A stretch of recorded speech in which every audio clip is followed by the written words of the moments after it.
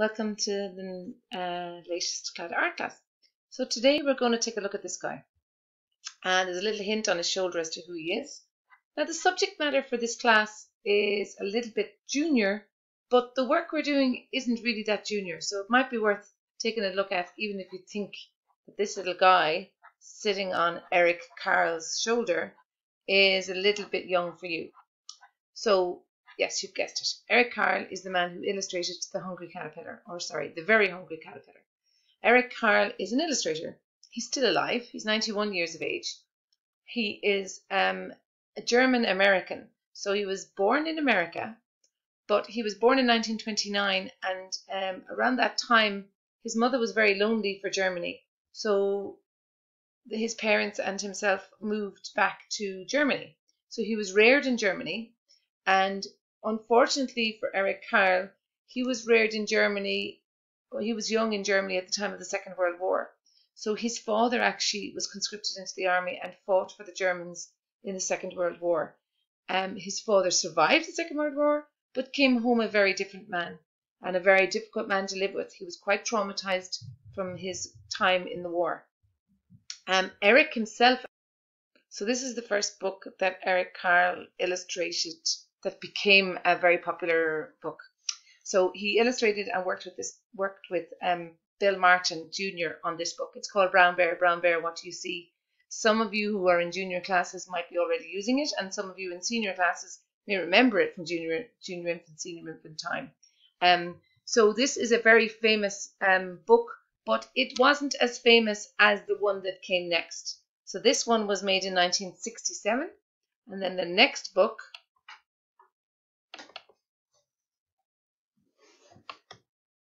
is this guy, the very hungry caterpillar. So what happened was Eric Carle realized that he didn't actually need to work with a writer. He was able to write and illustrate his own books. So he illustrated and wrote The Very Hungry Caterpillar in 1969, which means that the Very Hungry Caterpillar is 51 years of age. Now I have a little recording of Eric um, giving us a little bit of information on the kind of thinking behind the book. But the reason I'm showing it to you is to show you how he works. How does he make the illustration? Some of you will be able to tell from looking at it how he makes the illustration. The technique that he uses is collage. You're right, collage. But what Eric Carle uses um, for his collage is a little bit more intricate than what we use. So when we make collage in class and your task for this art class would be to make a collage, we use colored paper. Eric Carle uses colored paper, but it's paper he colored himself and more difficulty, it's actually tissue paper he colors himself. So it's really intricate work that he uses um, to make his beautiful illustrations. So let's move on and show you how he works because it's kind of interesting to see how he works.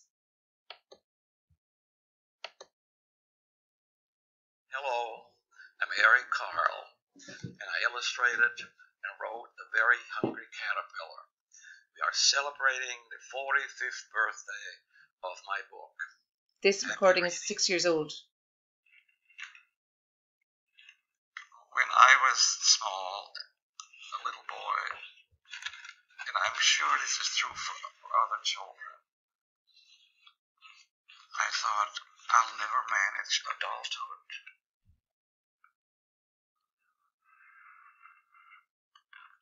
Simple things like paying rent and have a family.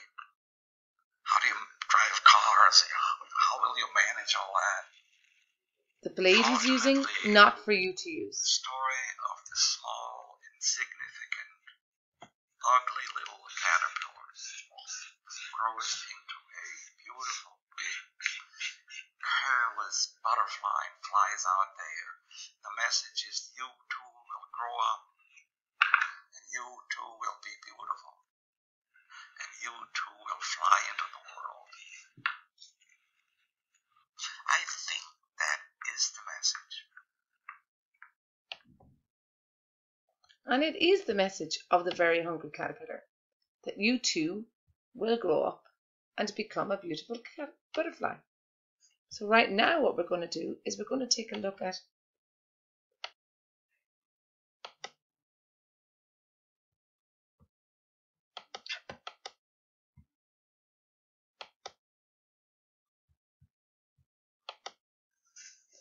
So to show you how to prepare some paper, you can just take old letters, old bills, and just rub over them with some paint. Now, you know, you might not have any paint at home and you might not have any paper. But the idea is that if you have, if you've got colored paper or magazine pages, you can use that colored paper to make a collage. If you don't have magazine pages or colored paper, but you do have a bit of paint, you can take old letters, old bills, and just paint over them. Okay, so just give you a few seconds of looking at what I'm doing here, which is literally just painting old letters and pages. Front or back, it doesn't matter. Any colour.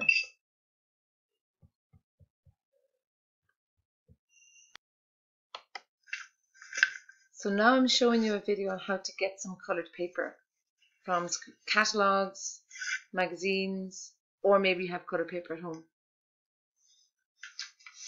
Also, you can work on a white page, or you can choose to work on the back of a cereal box as your page to work on top of. Nothing wrong with that. Cereal boxes are perfectly good to use as pages for art.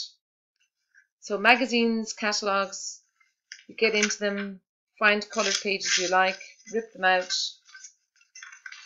and break them down into the smaller pieces of the actual colour that you want. Now this particular video is quite a bit long drawn out and won't fit if I let it play at its proper speed. So there's times like now where I'm going to actually speed it up for you to just get a glimpse of as to what you need to do. So what we do is we fold the colour. So I've chosen a green colour. You fold it into four fold it into a smaller piece so that you can draw the shape of the the oval that we use for the hungry caterpillars, the different section of the very hungry caterpillar. And then you take a scissors and cut it out. Now the green colour I'm using for the body, so I'm going to have to make a whole series of uh, ovals to join them together, a bit like a jigsaw to make the body. So I'm going to use lots of different greens. So here you go now. When you fold it, you get four pieces. And then I go look for some more.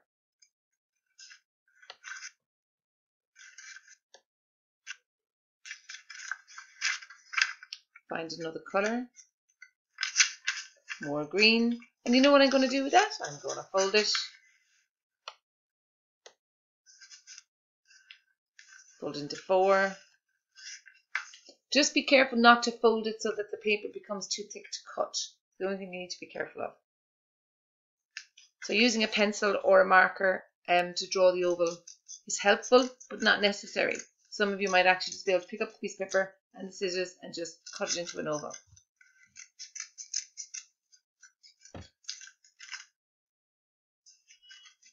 A series of them there.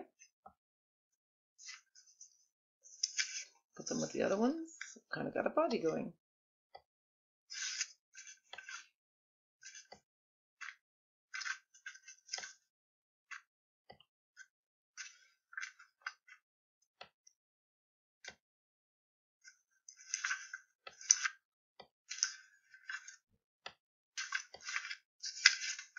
So I found an orange color. Now I'm measuring the pieces I'm using for the body against the piece I'm going to use for the head because the head must be bigger than the rest of the body for the very hungry caterpillar. So I draw another oval shape, then cut that out.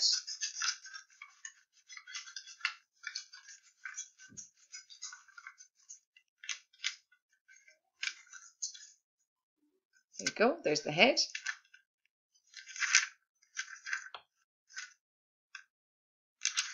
Again, look in magazines, find the colours you need. Found a bit of yellow.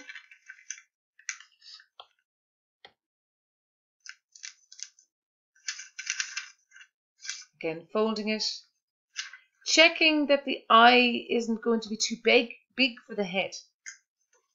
So that's what I'm doing there by putting the red piece underneath or the orange piece underneath is checking that my eye I'm going to draw isn't going to be too big for my head.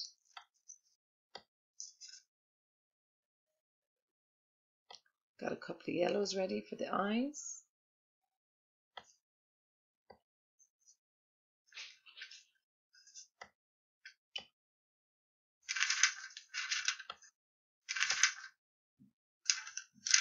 Found a piece of blue now to put the pupils in. And a very hungry caterpillar has very big pupils.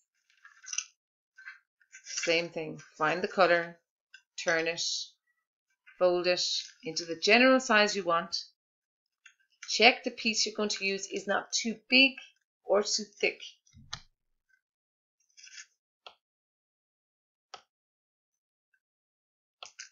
Draw the oval, cut it out.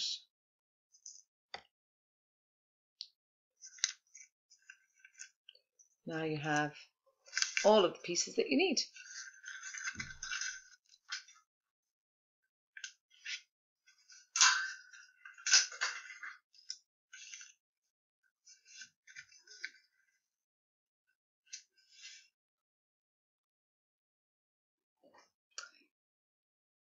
The very hungry caterpillar has an arched body. So you tend to have the head and then low down and then arch the body up off that.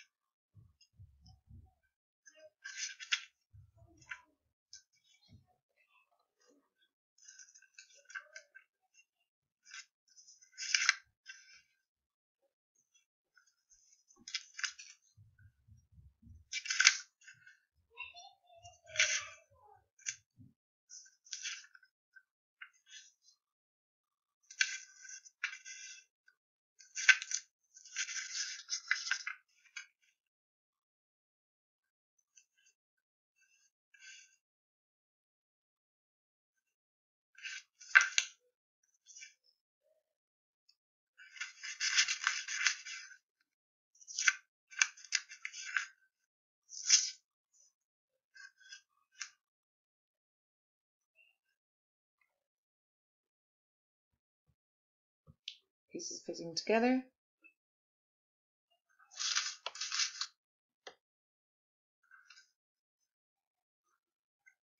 And now you're going to glue them down.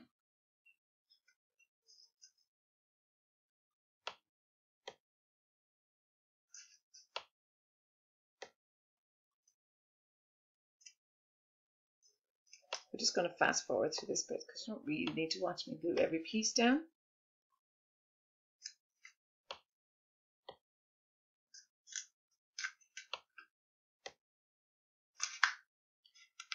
So you can use paint then to add extra pieces, extra details. That's just showing you the bare shell of it.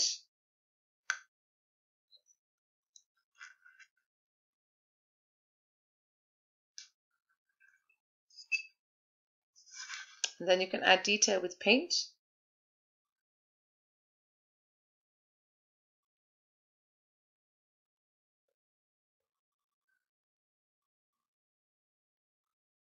You can paint on the little feet. You know the little feet the very hungry caterpillar has?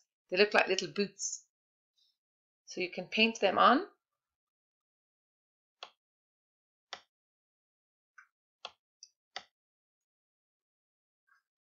You could also draw on details with a bit of an L twistable or a crayon or a biro or even the mud you were using in your previous mud classes, mud drawing classes.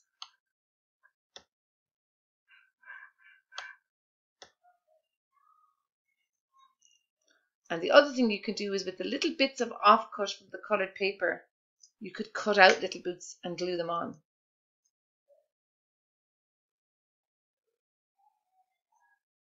Now, Eric Carle's actual collages you can still buy as long as you've got about 12,000 euros for a very small one.